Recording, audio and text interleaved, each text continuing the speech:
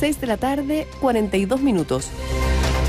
A propósito de China, para que no quede en el tintero, eh, yo quería invitarlos a ver una entrevista de BioBio TV que está en, nuestra plataforma, a, Sumretai Arkin. Es una... Mm, a ver, Sumretai Arkin es la presidenta del Comité del Congreso Mundial Yugur. Los yugures es una etnia china que viven en una zona que ha sido fuertemente castigada por el régimen comunista chino. Musulmanes en su mayoría. Son básicamente musulmanes, ahí se han registrado, a, ver, y, el argumento es que en virtud de algunos hechos de algunos grupos extremistas musulmanes teóricamente existentes ahí, China ha, emprendido una labor, entre otras cosas, de reeducación de gente con cientos de miles de personas internadas en campos de reeducación, que son campos de concentración.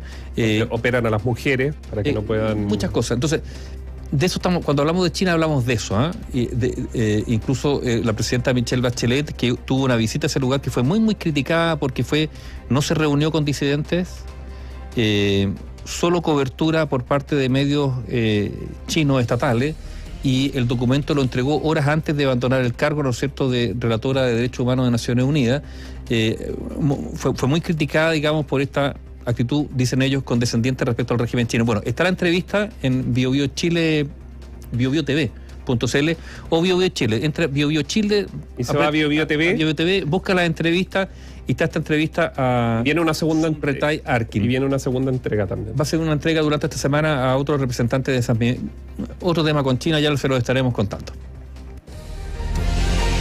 Siempre en temas internacionales. Lo decíamos eh, que se ha generado algunas polémicas en esta gira del presidente por la Unión Europea. El ministro de Relaciones Exteriores, Alberto Van Claveren, defendió el reconocimiento que entregó el presidente Gabriel Boric al ex juez Baltasar eh, Garzón por su compromiso por derechos humanos y su rol en la detención del dictador Augusto Pinochet en Londres. En la oposición criticaron este hecho por el rol que asumió Garzón como asesor de Bolivia en la demanda marítima que interpuso La Paz contra Chile en La Haya.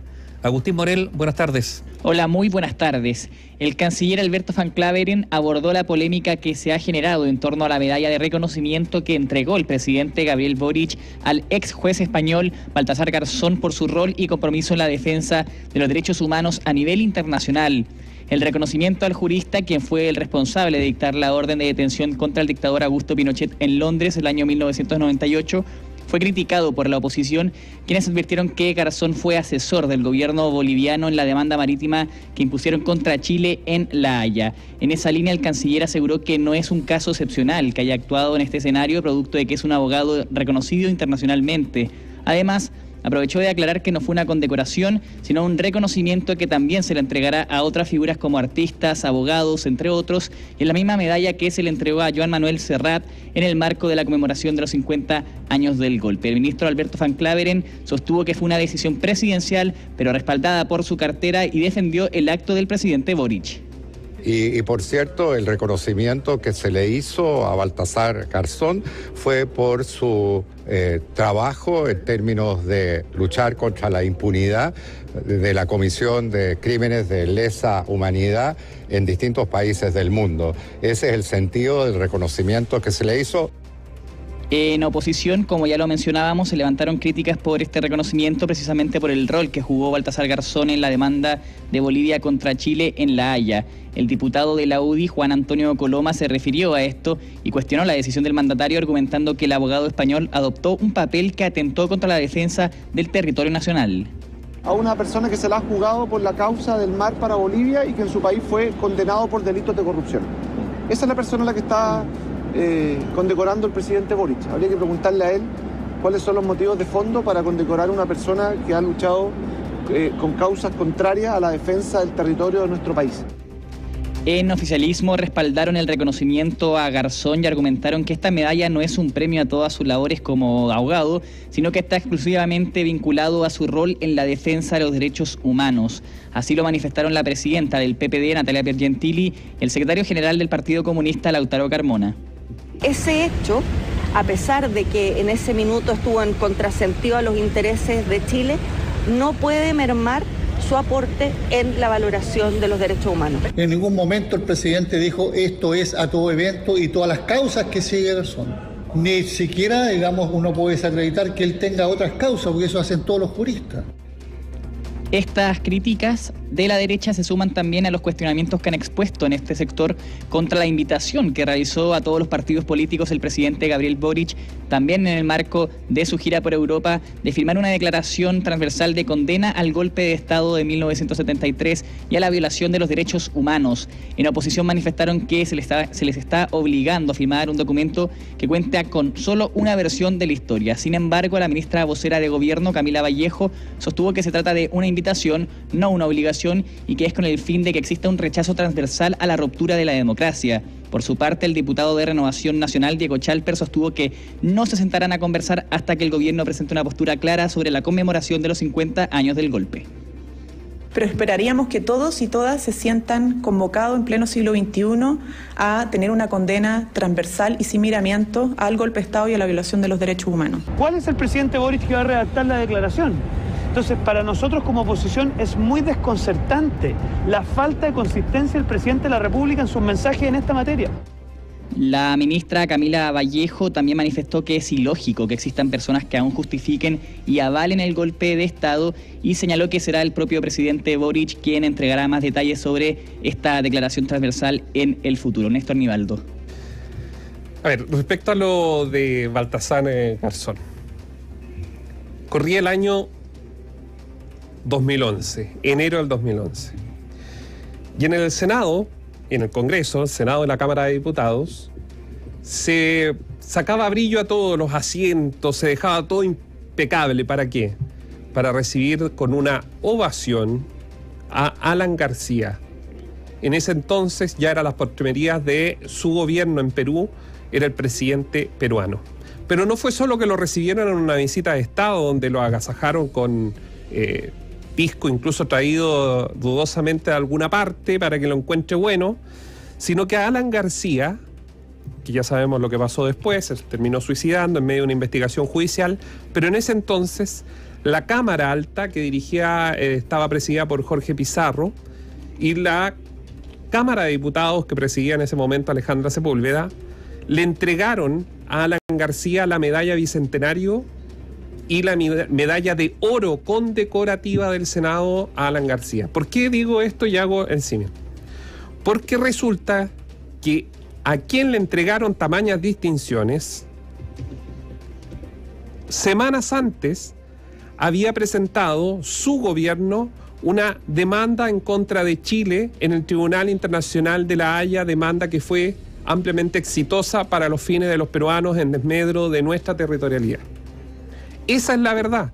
Y yo no escucho... no, es un argumento, por lo tanto, eso, el, de Garzón de que apoyó la demanda de, Bolivia contra Chile, si es que con Alan García... claro. Y con Alan García resulta que le hicieron. problema. De hecho, se lo entregaron en el mismo Congreso. Alguien podrá decir, sí, pero es que era el presidente peruano, pero podrían haberlo evitado, ¿no? Como una señal es que después salieron otras reacciones, yo lo recuerdo porque uno lo reporteaba, decía, es que él es el padre de las cuartas separadas de Chile con Perú, mientras peleamos en la diplomacia, en el mundo empresarial sigue corriendo. ¿Solo eso? ¿Era merecedor entonces de las medallas? Porque a igualdad, digamos, de crítica tendría que ser eso, ¿no? Sí, no, yo creo que no hay... Bueno. Es la mezquindad política, eso es lo que quiero decir. A ver, yo este es un comentario personal, pueden estar de acuerdo o no. Eh, yo creo que eh, respecto al juez Garzón no podrá estar de acuerdo con él, caerle bien, caerle mal, eh, criticar su trayectoria, pero también hay que decir que sin el juez Garzón no habría juicio, no habría habido juicio a Pinochet. Esa es la verdad, incluso en Chile, porque los que habían estaban absolutamente enterrados y se reactivaron después de que el juez Garzón decretara la detención de de Pinochet. Así de simple, esa es la verdad. O sea, lo otro es engañarse o autoengañarse. Sin la detención del juez Garzón, Pinochet no habría habido esbozo, esbozo de eh, enjuiciamiento a Chile. Eh, en Chile a Pinochet. Porque ya habían, ya habían demanda, habían, querella, y estaban ahí, pues dormían el juicio eterno. También nos abre un capítulo en esa transición. El juez Baltasar Garzón, claro. nos abre un capítulo muy interesante. El rol de la concertación para ir a buscar a Pinochet. Bueno, también. Y ahí si no hubiese sido por eso ese capítulo puntual, bueno, y no se hubiese y la concertación y la concertación, la concertación eh, esgrime el argumento de que como los crímenes se cometieron en Chile tienen que ser jugados aquí, que la justicia chilena y Chile, siendo un país soberano y una república, tenía capacidad para juzgarlo y ese fue el argumento con el que lo trajeron y se abrieron causas judiciales o se reactivaron. Ahora, esto está mezclando además con la declaración de los 50 años, aquí se mezcla todo, pero bueno, eh, va a ser así. Mira, respecto a la petición o a la invitación a una declaración, eh, obviamente que hay que condenar el golpe, es evidente, pero también habría que condenar algunas de las causas que permitieron el golpe, porque si no esta cuestión también es como remar o sacar solo cálculos bien, bien mezquinos. Y una. Y tal como se debe condenar el golpe, se debería, por lo tanto, condenar el uso de la violencia en política, que fue algo que se toleró y, e incluso, yo diría, se alentó previo al golpe de Estado. Las causas del golpe son temas, yo creo que muy, muy debatibles. El golpe no es justificable, pero yo creo que es para que no sea justificable, pensando en el futuro, ¿ah? para que no se justifique nunca más un golpe, para que no haya gente que justifique el golpe, también hay que decir que tampoco se debe permitir el uso de la violencia en política. El golpe es la máxima de la violencia en política, por lo demás. Pero hay otras violencias que también tienen que ser condenadas. Entonces, mira, esto va a ser un tema de debate cruzado. Yo creo que es bueno que haya debate al respecto. Tiene que haber condena al golpe, pero no nos cerremos no nos tapemos los ojos respecto a lo que había ocurrido previo al golpe. Pero finalmente podría transformarse en un debate más de polarización más que llegar a acuerdos comunes de, lo que... A ver, yo creo que el, rechazo, al golpe es el primero de los puntos para, para un acuerdo común. Eso es lo primero. Rechazo al golpe, evidente, sí. Y después algunas coincidencias respecto a lo que nos llevó al quiebre institucional, porque aquí hubo un quiebre institucional con muchos responsables. Sobre eso nadie quiere hablar, nadie quiere profundizar. Hubo algo, yo diría, en la reflexión que hicieron algunas de las personas que sufrieron la dictadura, estoy pensando particularmente en el mundo socialista, cuyo partido hasta el golpe era un partido dirigido por los sectores más ultras. A ver, quizás mucha gente joven no lo ha pensado, pero imagínense ustedes un país donde el concepto de guerra civil era algo de lo que se hablaba cotidianamente, la posibilidad de la guerra civil, incluso algunos diciendo que la salida pasaba por una guerra civil. Ese era el nivel que se vivía. ¿Justificaba esto el golpe? Dejo la pregunta planteada. Yo creo que ningún golpe se justifica, pero tampoco se justifica que eh, a, nivel de, a nivel político se haya llegado a una situación donde la violencia se justificaba en discursos ¿ah? de autoridades.